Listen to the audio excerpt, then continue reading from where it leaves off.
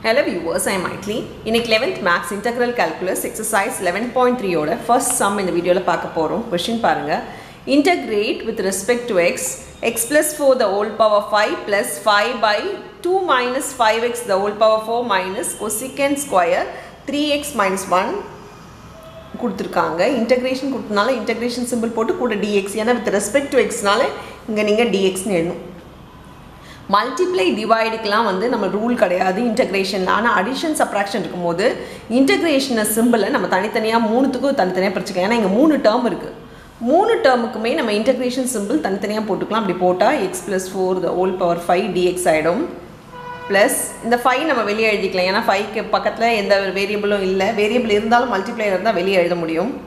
So இது one by two minus five x the whole power four ஆகிடும் minus integration cosecant square three x minus one இது எல்லாத்துக்குமே கூட integration symbol போட்டதுனால dx so இப்போ மூணு டேர்மே நம்ம தனித்தனியாக பிரித்து இன்டகிரேஷன் சிம்பிள் போட்டுக்கிட்டோம்.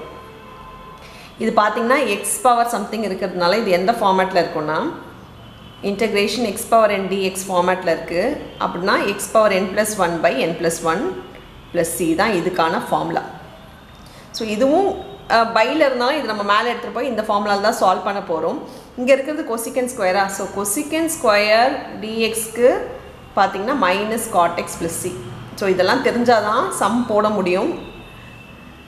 இப்போது இதுக்கு தனியாக பண்ணலாம் இதுக்கு தனியாக பண்ணலாம் இதுக்கு தனியாக பண்ணிக்கலாம். இங்கே நான் உங்களுக்கு முன்னாடி சொன்ன மாதிரி இந்த ஃபஸ்ட்டு ஃபார்மில் யூஸ் பண்ண போகிறோம் அப்படின்னா இன்டகிரேஷனில் அப்படியே எழுதிட்டு மேலே பவரில் ஒன்று ஆட் ஆகிடும் எக்ஸ் பவர் இருந்தால் தான் போடலாமே இங்கே ஃபோர் இருக்குன்னா ஒன்றும் பிரச்சனை கிடையாது. இந்த மாதிரி இருக்கும்போது பவர் ஒன் இருக்கும்போது தாராளமாக உள்ளுக்குள்ளே எக்ஸ் பவர் ஒன் இருக்குன்னா நீங்கள் தாராளமாக அப்படியே யூஸ் பண்ணலாம். ஃபைவ் ப்ளஸ் ஒன் நம்மளுக்கு சிக்ஸ் ஆகிடும் பை சிக்ஸ் பவரில் ஒன்று ஆட் ஆகிடும் அப்போது ஃபைவ் ப்ளஸ் ஒன் நம்மளுக்கு இங்கே சிக்ஸுன்னு ஆகிடும் by six by inner function differentiation பண்ணணும். இன்னர் ஃபங்க்ஷனில் ஒன் தான் வரும். ஏன்னா இது ஜீரோ ஆகிடும் கான்ஸ்டன்ட் டேர்ம் இது ஒன் இன்ட்டு ஒன் போடும்போது அதே சிக்ஸ் தான் இருக்கும். ஸோ போடணுன்ற அவசியம் இல்லை.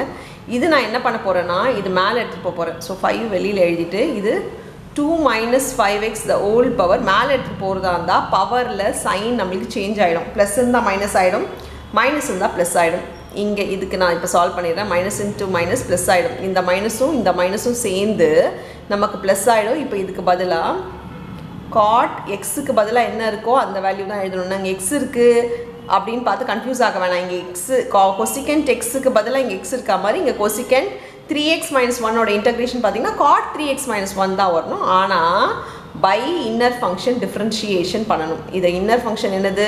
த்ரீ எக்ஸ் மைனஸ் ஒன்னா இதுக்கு டிஃப்ரென்ஷியேட் பண்ணால் த்ரீ வரும். இப்போ இங்கே மட்டும்தான் நம்ம இன்டகிரேட் பண்ணல. இன்டகிரேட் பண்ணுற வரைக்கும் இன்டகிரேஷன் சிம்பிள் நீங்கள் போட்டுக்கிட்டே தான் இருக்கணும்.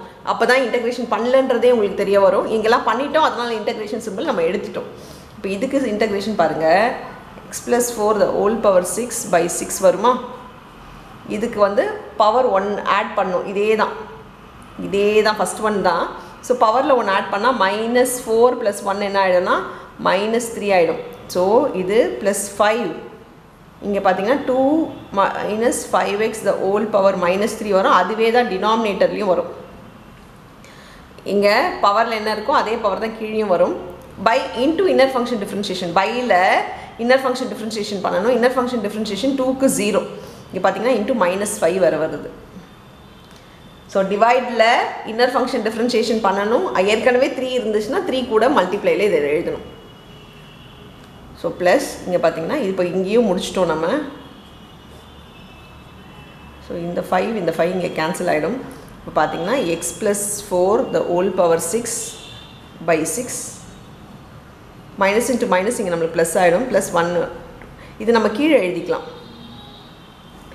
ஏன்னா நெகட்டிவ் பவரில் இருக்குது பவர் நெகட்டிவில் ஆன்சர் கொடுக்கக்கூடாது. அதனால் இது கீழே எழுதிக்கோங்க. ஸோ த்ரீ இன்ட்டு இது ஒன்று மேலேருந்து இது கீழே வந்தால் ஒன் ஆகிடும் two minus five x the whole power 3 ஆயிடும் plus cot 3x minus 1 the whole uh, whole by 3 plus scene வரும். இதுக்கு ஆங்கிளுக்கு கிடையாது இது ஃபுல்லாக பை த்ரீன்றது ஞாபகம் வச்சுக்கோங்க.